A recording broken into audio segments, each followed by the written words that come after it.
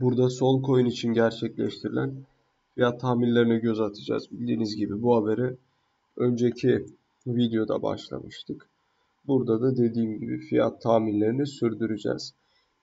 2024 yılıyla başlıyor normal olarak mevcut fiyat tahmini. Tabi 2024 yılında 165,16 dolar gibi bir maksimum fiyat tahmini oldukça saçma bir fiyat tahmini olmuş doğrusu. E, bunun sebebini de tahmin edebilirsiniz. 2024 gibi bu kadar ileri bir yıl, bu kadar nasıl diyeyim e, roket bir yıl içerisinde bulunduğumuz zaman solun durup dururken bu seviyelerde ne bileyim takılı kalması çok mantıklı bir şey değil yani. Zira BTC'nin zaten yön yukarı hareketle birlikte e, Bitcoin'in ATH yapmasını bekleriz. E, haliyle tutup işte sol coin'in de kendisini dizginlemesi durumu söz konusu olmaz. Söylediği fiyatlara şimdi bile e, zaten aşırı derecede yakın. 3 haneli fiyatlar çok kısa bir süre e, önce biliyorsunuz ki görüldü BTC tarafından. Bu saatten sonra da yön yukarı hareketlerini sürdürecektir. Özellikle 2024'ün yani bu yılın içerisinde ETF'lerin geliyor olması, halving'den tutun, e, aynı şekilde faiz indirimlerinin başlaması gibi çok önemli olaylar yine XRP, XRP diyorum, e, solun fiyatlarını ciddi şekilde artırabilecek unsurlardır. XRP'nin de öyle bu arada. Yanlış söyledim ama e, onun için de geçerli. Tabii ki yapmış olduğum yorumların aynısı bütünü. Nereye kadar görür e, sorusu bu tabii ki bilinmiyor. Yani muhakkak nereye kadar görür işte şu fiyatı görür şeklinde net bir yorum yok. Nitekim BTC içinde yok. Ortalama şeyler söyleniyor. 120 bin dolar diye var. E, Fed'in politikasına göre değişir. Bunlara çok fazla takılmayın. Ortalama görünümü bilin.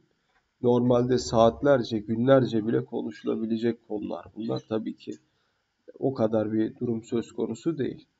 Fed'in politikasına göre değişir. Şu anda muhtemelen beklediğimiz şekilde giderse yani bu BTC'de 2024'te bak 25'e girmedim farkındaysanız 2024'te 120 bin 150 bin e, getirebilir yani minimum.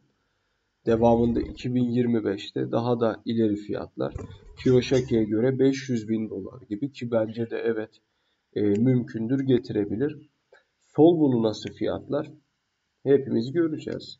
Yani toplamda 2024'te olur mu bilmiyorum ama 25'te en az 1000 dolar gibi fiyatları şahsen bekliyorum. Zaten genel olarak piyasadaki e, kişiler de bunu aynı şekilde düşünecektir yani öyle söylemiş olayım. 2024-25 mevcut boğa sezonunda sol kadar, sol gibi bu kadar e, yüksek koreli bir kripto para biriminin açık ara pozitif iş çıkaracağı bir e, yıl olacaktır. Evet. Durum bu şekilde. 2026-26 bunlar tabii ki artık boş muhabbete kaydık. 2026 yılında Fed'in para politikasına ilişkin sebeplerden dolayı 2026'da boğanın devam edebileceği e, üstüne Arthur çıkardığı argümanlar var. Bakalım ben çok yüksek ihtimal görmüyorum bunu. Burada tek tek fiyat tahminleri vermiş. En son 2050 yılına 1553,31 dolar koymuş. Bunları, bunlar için bir şey söylemeyeceğim bile. Bu tarz fiyatları Solcoin'in görmesi mümkündür ama bir 2050 yılına bunu neden koydun sen mesela? 2050'de Solana'nın ne işi var tam olarak piyasada? Yani 2050'ye kadar neden yaşasın? Onu anlamadım yani biraz tuhaf geldi bana, saçma geldi. E, bu fiyatlar dediğim gibi yani sol coin'de bir gün görülecektir. Bu sezon olur mu emin değilim. Ama 2050'de olmayacağı kesin yani. O, orası net. Solana diyor lansman tarihinden bu yana kripto pazarında büyük bir büyüme gösterdi. Solana Coin 2021 yılında yeni bir ATH seviyesi oluşturarak ilk yatırımcılarına büyük bir getiri sağladı. Solana coin fiyatları Kasım 2021'de tüm zamanların en yüksek seviyesi olan 260,06 dolara yükseldi diyor. Aynen öyle. Tabii 2020 1 Kasım'daki rallisi e, oldukça güçlüydü. Tek parti bir ralli değildi tabii. Piyasayla birlikte hareket etti ve son hareketini de gerçekleştirdi. Bu BTC ile de Kore, Korele ve birebir de uyumlu bir rally etabıydı. Bakınız AVAX da yine buna çok benzer hareket yaptı. Hatırlarsınız diye düşünüyorum. Evet. Ancak diyor son düşüş olaylarında Solana coin çöktü ve değerini %80 oranında kaybetti. ATH'e dokunduktan sonra Solana coin fiyatları düşüş eğilimi izliyor diyor.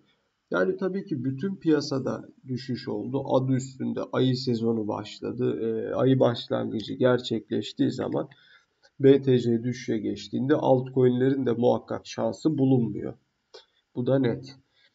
Tabi FTX'ti mi FTX'ti derken sezon zaten gayet iyi biliyorsunuz ki hem BTC için BTC falan boş ver. Hususiyetle sol coin için ciddi bir düşüş etabı halinde geçti. Maalesef. Solana ekosistemi Solana coin'i güçlü kılan gerçek kullanım senaryosuna sahiptir. Bu yıl kripto paralar son yıllara kıyasla düşüş sinyalleri gösteriyor. E, ne zaman yazıldığını bilmiyorum haberin bu arada. O yüzden hani bir şey söylemek istemiyorum. Hatırlamıyorum. 2023'te yazılmıştır büyük ihtimalle. 22 22 de olabilir. Ama bu yıl düşüş değil tam tersine korkunç bir yükseliş eğilimi var.